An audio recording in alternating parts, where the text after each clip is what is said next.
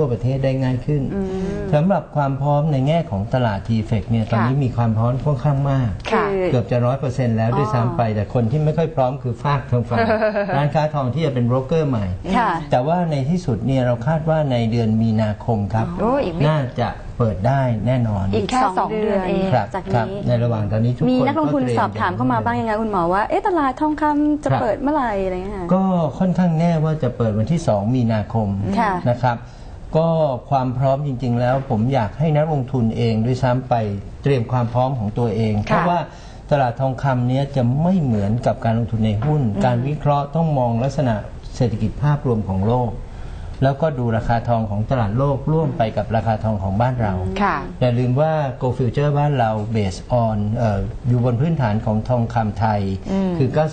96.5%ค่ะนะครับหนึ่งค่ะ สัญญาก็ประมาณ 50 บาททองคำท่านใช้เงินลงทุนประมาณ 70,000ถึง80,000 บาทแต่ว่าขั้นต่ำเหรอคะ ขั้นต่ำแต่ว่าท่านจะได้ผลตอบแทนสูง เพราะว่าท่านสามารถซื้อขาย ถึง 50 บาททองคำ อืมค่ะ ก็เรียกว่าเป็นความพร้อมนะคะ ก็เข้าใจว่าวันที่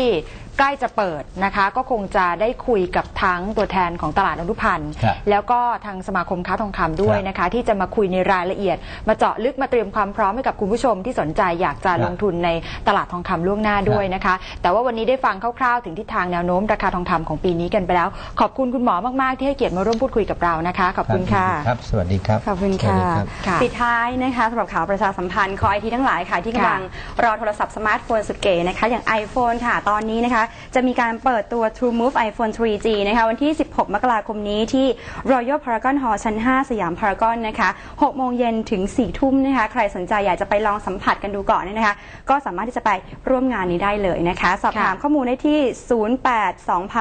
0820003333 ค่ะ วันนี้หมดเวลาของรายการ Economic Top Issue แล้วนะคะ กลับมาติดตามได้ใหม่ในวันพรุ่งนี้ วันนี้เรา 3 คนลาคุณผู้ชมไปก่อน สวัสดีค่ะ สวัสดีค่ะ